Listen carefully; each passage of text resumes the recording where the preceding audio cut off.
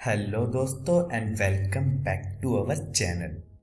दोस्तों, आप लोगों की काफ़ी रिक्वेस्ट आ रही थी कि आपको मैं वापस से एक शायरी एप्लीकेशन बनाना सिखाऊं, ठीक है? तो ये वीडियो काफ़ी इम्पोर्टेंट है, क्योंकि इस वीडियो में मैं आपको ये जो प्रोजेक्ट है, ये पूरा प्रोजेक्ट प्रोवाइड कर रहा हूँ। आपको सिंपल इसे एडिट करना है और आप अपनी खुद की शायरी एप्लीकेशन बना सकते हो। तो इस वीडियो को बिल्कुल भी स्किप मत करना और ये ट्यूटोरियल ज़रूर देख लेना कि आपको प्रोजेक्ट डाउनलोड करने के बाद उसे एडिट या सेटअप कैसे करना है। काफ़ी इंटरेस्टिंग वीडियो होगी और आई होप आपको ज़रूर पसंद आएगी। और हाँ बिल्कुल भी छोड़कर मत जाना इस वीडियो को यार। सो so, अगर ये वीडियो अच्छी लग रही है आपको तो इसको एक लाइक ज़रूर करना और चैनल को ज़रूर सब्सक्राइब कर लेना। साथ में ये बेल का आइकन भी ज़रूर दबा देना। और हाँ इस वीडियो पर मैं सिर्फ़ 10 लाइक का टारगेट रख रहा हूँ। सो आई होप आप लोग हमारे लाइक का टारगेट कंप्लीट करवा दोगे। सो so, दोस्तों चलो बढ़ते हैं अपनी वीडियो की तरफ़। तो नीचे डिस्क्रिप्शन में आपको इस प्रोजेक्ट का डाउनलोड लिंक मिल जाएगा। ठीक है?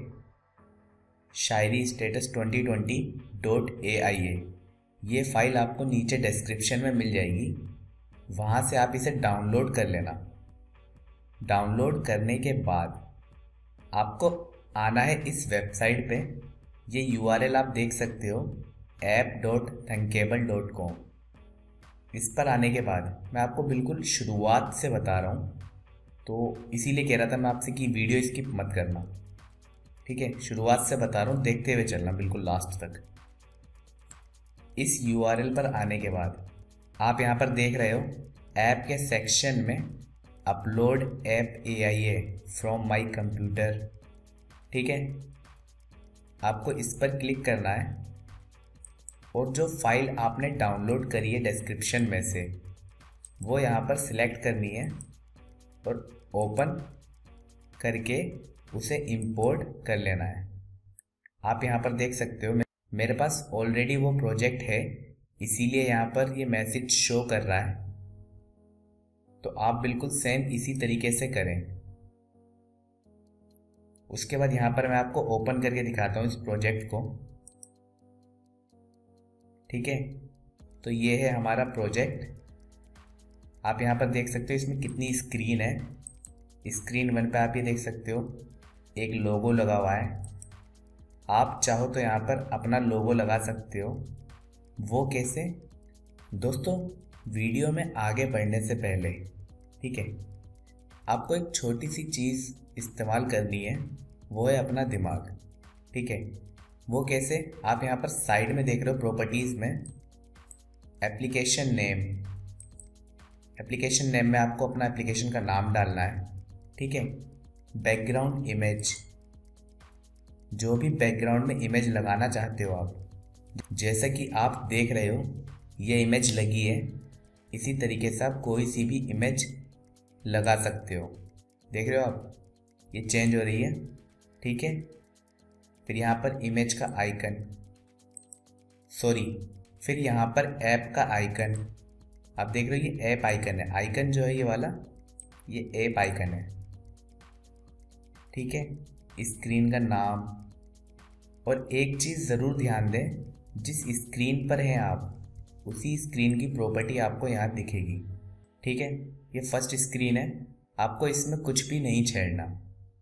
उसके बाद यहाँ पर आप देख सकते हो, हमारे पास और भी स्क्रीन है। तो हम सबसे पहले चलते हैं इस होम वाली पर। यहाँ पर आने के बाद आप देख सकते हो, ऊपर एप्लीकेशन का नाम है, साथ में उसका आइकन है। आप क्लिक कर सकते हो उस पर और यहाँ पर आप प्रॉपर्टी देख सकते हो उसकी। इमेज अगर आपको चेंज करनी है तो आप अपलोड कर सकते हो अपनी कोई इमेज और चेंज कर सकते हो। साथ में ये जो टैक्स है आप ये भी चेंज कर सकते हो। इस पर क्लिक करके उसकी प्रॉपर्टी देखनी है आपको। और जो भी आपको लिखना है। वो आप लिखकर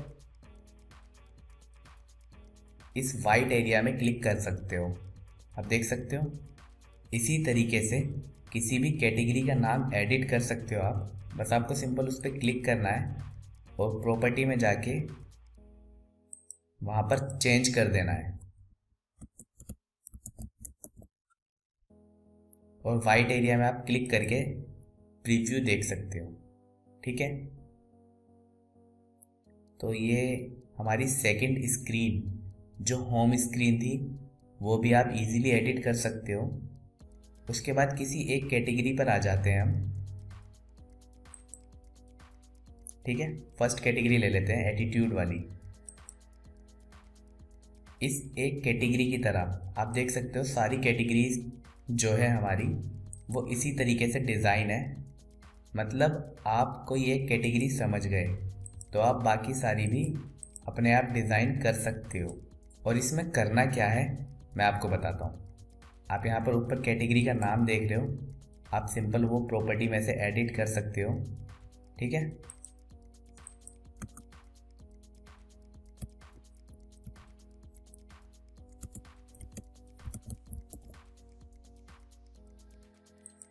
सिंपल एडिट करा।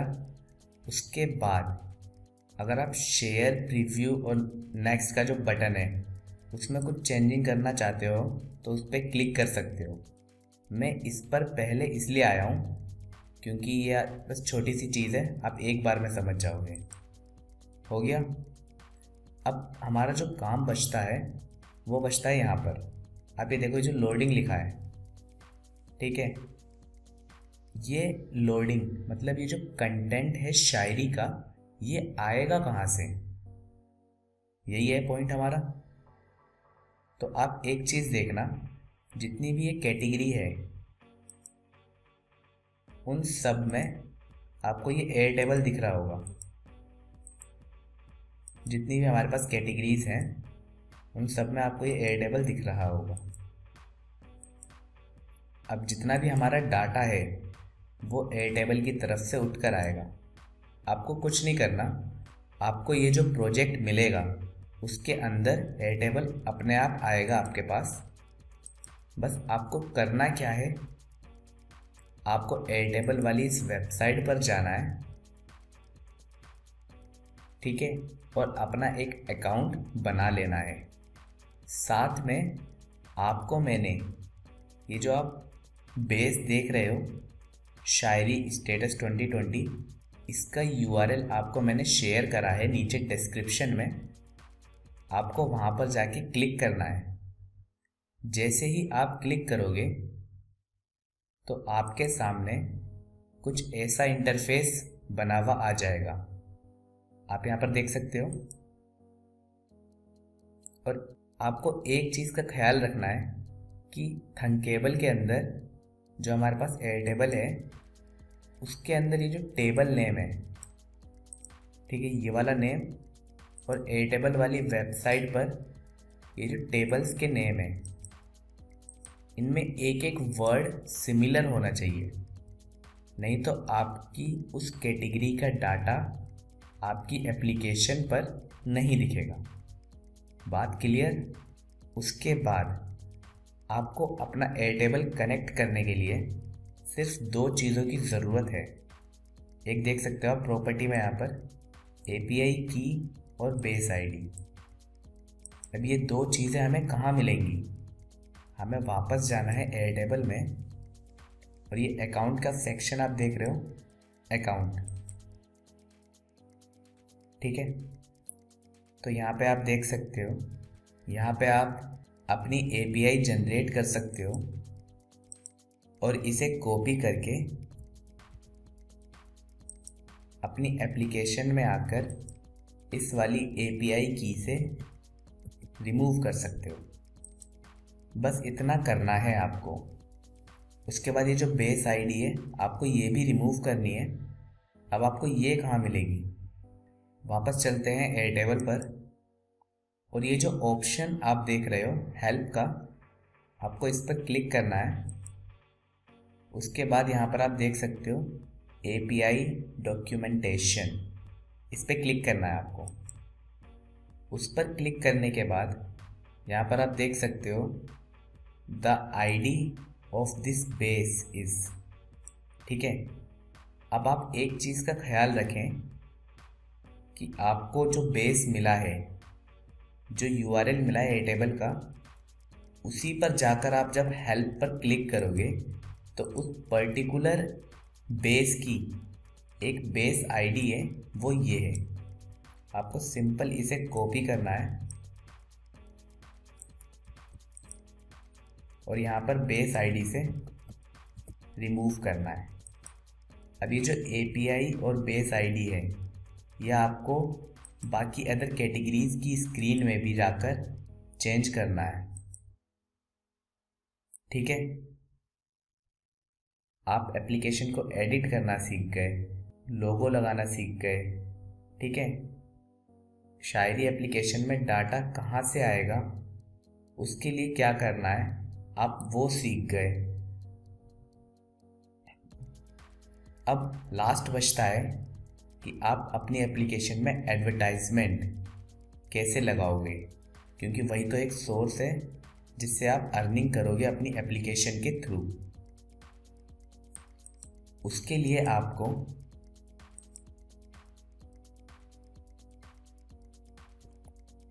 कुछ स्क्रीन में आप देख सकते हैं यहाँ पर एक ऑप्शन मिल रहा होगा एडमॉप का। बस आपको सिंपल अपनी यहाँ पर ऐप आईडी डालनी है और ऐप आईडी आप कैसे बना सकते हो ये आपको पता होगा, ठीक है? हर स्क्रीन में आपको ये ऑप्शन दिख जाएगा। वैसे मैंने इनमें एडमॉप के इंटरटिशियल ऐड लगा रखे हैं। आप चाहो तो बैनर ऐड भी लगा सकते हो। ये सब आपको पता होगा। अगर आपको इसके ऊपर भी एक ट्यूटोरियल चाहिए कि बैनर एड इंटरटिशियल एड या फिर एड यूनिट क्या होती है तो आप नीचे डिस्क्रिप्शन में कमेंट करें। मैं डेफिनेटली इसके ऊपर भी एक वीडियो लाने की कोशिश करूँगा। सो आई होप आपको ये वीडियो अच्छी लगी होगी और इस वीडियो को देखने के बाद आप अपनी खुद की एक शायरी एप्लीकेशन बना पाओगे। सो so, इस वीडियो को ज़्यादा से ज़्यादा शेयर करना और लाइक तो ज़रूर करना यार। चैनल को सब्सक्राइब कर लेना और साथ में ये बेल का आइकन ज़रूर दबाना। मैं मिलता हूँ आपसे आगे ऐसी ही किसी नेक्स्ट और इंटरेस्टिंग वीडियो के साथ। तब तक के लिए गुड बाय